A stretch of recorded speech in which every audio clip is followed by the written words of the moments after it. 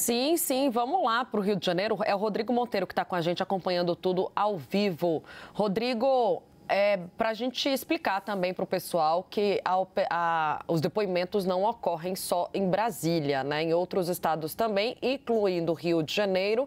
De onde sai é, esse personagem nessa trama, dentre os, dentre os 23 que estão sendo ouvidos? Eu quero que você traga mais informações sobre o depoimento dele. Rodrigo, contigo.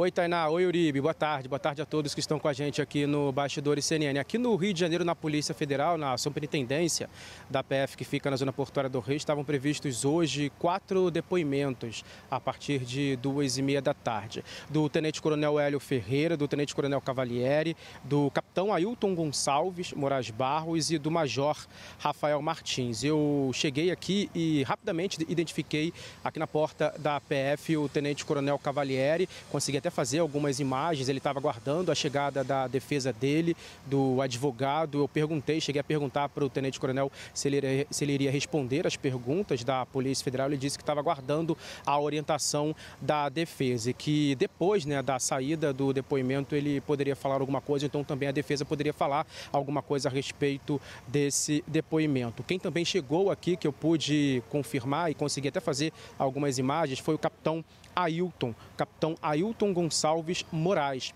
Consegui perguntar rapidamente para ele se ele iria também responder a algumas perguntas ou as perguntas da Polícia Federal. Ele disse que, que depois ele, ele falaria, num determinado momento ele disse também que depois na saída iria falar. A gente está aqui aguardando, né? Eles não saíram, não consegui identificar ainda a saída desses dois militares, pelo menos. Além deles, né, outros dois também estavam previstos. Não consegui identificar aqui o Coronel Hélio, nem também o Major Rafael Martins. O Tenente Coronel Hélio ele fazia parte da elite da tropa né, do Exército da Amazônia. Ele, segundo as investigações, integrava um grupo que divulgava notícias falsas sobre as eleições presidenciais.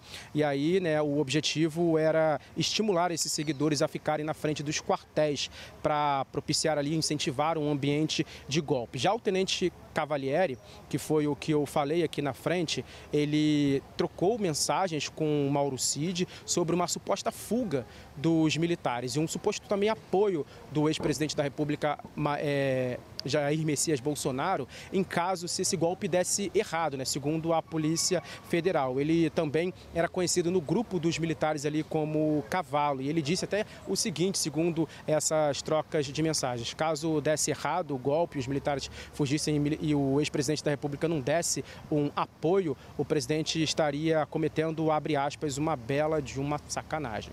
Bom, o capitão Ailton Gonçalves ele foi expulso do Exército por punições disciplinares, também já foi investigado por acordo, né, por suposto acordo com o tráfico de drogas. Segundo a Polícia Federal, ele recebia ordens e coordenava ações desse suposto golpe é, e recebia ordens do do então ajudante de ordens, o coronel Mauro Cid. Já o major Rafael Martins foi preso na última operação também da Polícia Federal. Ele, segundo a PF, teria negociado aí o valor de 100 mil reais para pagar, né, custear a ida dos manifestantes para Brasília. Estou por aqui acompanhando, caso eles saiam, vou abordá-los ali, mas por enquanto não consegui identificar ainda a saída de alguns desses militares. Portanto, tudo indica que eles estão prestando depoimento na Polícia Federal da Zona Portuária do Rio.